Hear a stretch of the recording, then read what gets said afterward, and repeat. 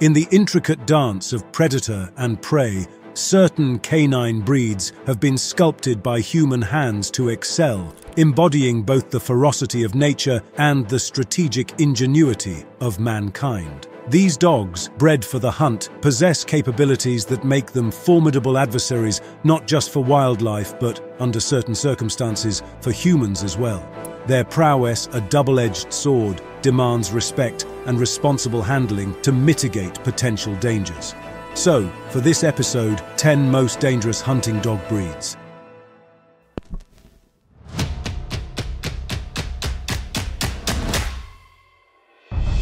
Number 10. Central Asian Shepherd. The Central Asian Shepherd is primarily utilized for guarding livestock and property, leveraging its robust physique and vigilant nature. Remarkably, in Tajikistan, these dogs are also employed often in hunting big game, showcasing their versatility. Characteristically, their potential for danger stems from their formidable size, inherent protective instincts, and powerful bite, necessitating experienced handling to mitigate risks effectively. Number 9. Neapolitan Mastiff. The Neapolitan Mastiff is predominantly used as a guard dog, valued for its intimidating presence and loyalty. Originating from ancient times, these dogs participated in Roman fighting arenas, later transitioning to roles in wild boar hunting and other dangerous animals. Their potential danger lies in their massive stature, profound strength and protective temperament. Also, their loose skin is a great protection for them. Number 8. Rhodesian Ridgeback. The Rhodesian Ridgeback is primarily used as a versatile companion, known for its guarding and hunting capabilities. Originating from southern Africa, these dogs were historically used to track and confront lions, showcasing their remarkable courage and hunting skills. Characterized by a distinctive ridge on their back, their formidable strength, speed, and keen senses make them formidable protectors, albeit requiring experienced handling to mitigate their assertive nature. Number 7. Catahoula Leopard Dog.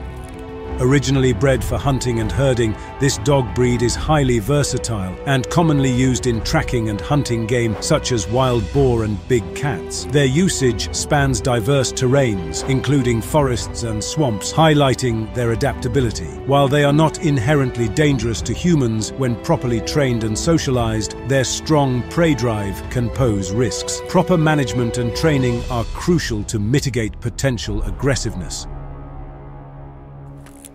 Number 6. American Pit Bull. This breed is primarily utilized for companionship and as a working dog in various roles, including wild boar hunting, leveraging their strength and determination to track and hold large prey. While possessing a strong prey drive, when properly trained and socialized, they can coexist safely with animals and humans. However, without appropriate training and management, they can present significant risks to both animals and people. Number 5. Cane Corso.